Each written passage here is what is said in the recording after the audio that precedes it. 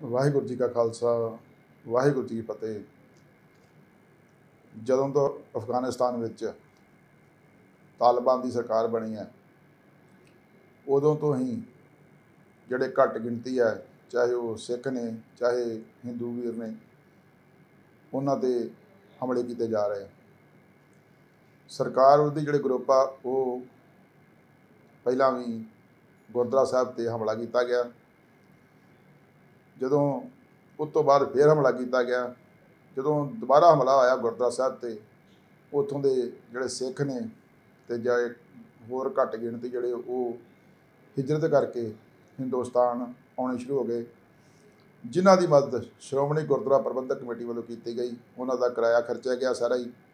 ਤੇ ਹੁਣ ਜਿਹੜੇ ਉੱਥੇ ਸਿੱਖ ਰਹਿ ਗਏ ਸੀਗੇ, ਉਹ ਵੀ ਹਿੰਦੁਸਤਾਨ ਆਉਣ ਦੀ ਚਾਹਤ ਸੀ।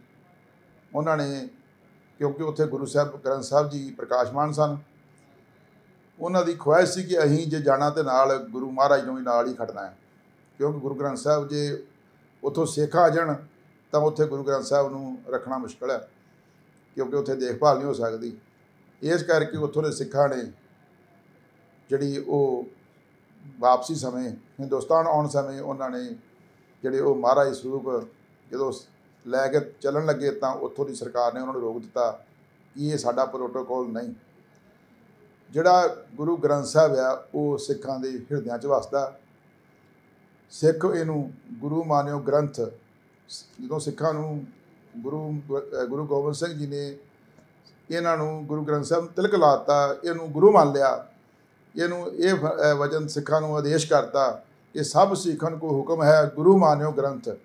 ਜਦੋਂ ਗੁਰੂ ਗ੍ਰੰਥ ਸਾਹਿਬ ਨੂੰ ਗੁਰੂ ਮੰਨ ਲਿਆ ਤੇ ਸਿੱਖਾਂ ਨੂੰ ਉਦੇਸ਼ ਕਰਤਾ ਕਿ ਇਹ ਤੁਹਾਡਾ ਗੁਰੂ ਆ, ਜਿਹੜਾ ਗੁਰੂ ਗ੍ਰੰਥ ਸਾਹਿਬ ਨੂੰ ਉੱਥੇ ਛੱਡਣਾ ਕਿਸੇ ਵੀ ਤਰ੍ਹਾਂ ਉਚਿਤ ਨਹੀਂ ਸੀ, ਸਿੱਖਾਂ ਦੇ ਜਿਹੜੇ ਜਜ਼ਬਾਤ ਗੁਰੂ ਗ੍ਰੰਥ ਸਾਹਿਬ ਨਾਲ ਜੁੜੇ ਹੋਏ ਆ ਤੇ ਗੁਰੂ ਗ੍ਰੰਥ ਸਾਹਿਬ ਵਿੱਚ ਜਿਹੜੀ ਬਾਣੀ ਆ, ਉਹ ਸਿੱਖਾਂ ਦੇ ਹਿਰਦਿਆਂ 'ਚ ਵਸਦੀ ਆ।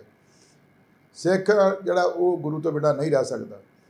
ਉੱਥੋਂ ਦੇ ਸਿੱਖਾਂ ਦਾ ਜਜ਼ਬਾਤ ਦੀ ਮੈਂ ਕਦਰ ਕਰਦਾ। ਮਾਨਯੋਗ ਦਸਵੀਂ ਧਾਮੀ ਵੱਲੋਂ ਜਿਹੜੇ ਇਸ ਗੱਲ ਦੀ ਮੈਂ ਸਰਕਾਰ ਦੀ ਉੱਥੋਂ ਨਿਖੇਧੀ ਕਰਦਾ ਕਿ ਜਿਹੜੀ ਉੱਥੋਂ ਮਹਾਰਾਜ ਸਰੂਪ ਨੂੰ ਲੈ ਕੇ ਨਹੀਂ ਆ- ਲੈ ਕੇ ਆਉਣ ਦੇ ਰਹੀ। ਕਿਉਂਕਿ ਸਿੱਖ ਚਾਹਤਵਾਨ ਨੇ ਕਿ ਅਸੀਂ ਜੇ ਜਾਣਾ ਹਿੰਦੁਸਤਾਨ 'ਚ ਤੇ ਅਸੀਂ ਸ਼੍ਰੀ ਗੁਰੂ ਗ੍ਰੰਥ ਸਾਹਿਬ ਦੇ ਪਾਵਨ ਸਰੂਪ ਨਾਲ ਲੈ ਜਾਣੇ ਆ। ਪਰ ਉੱਥੋਂ ਦੀ ਸਰਕਾਰ ਨੇ ਉਹ ਰੁਕਿਆ ਆ। ਇਹਦੀ ਜਿੰਨੀ ਵੀ ਨਿੰਦਾ ਕੀਤੀ ਜਾਵੇ ਥੋੜੀ ਆ।